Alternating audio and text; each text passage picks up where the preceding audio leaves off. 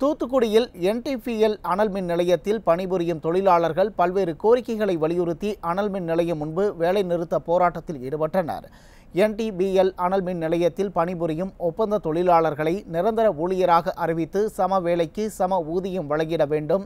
அனைத்து ஒப்பந்த தொழிலாளர்களுக்கும் பண்டிகை விடுமுறை தேசிய விடுமுறை வழங்கி போனஸ் வழங்கிட வேண்டும் உள்ளிட்ட பல்வேறு கோரிக்கைகளை வலியுறுத்தி அனல் மின் நிலையம் முன்பு நூற்று ஐம்பதுக்கும் மேற்பட்ட தொழிலாளர்கள் வேலைநிறுத்த போராட்டத்தில் ஈடுபட்டனர்.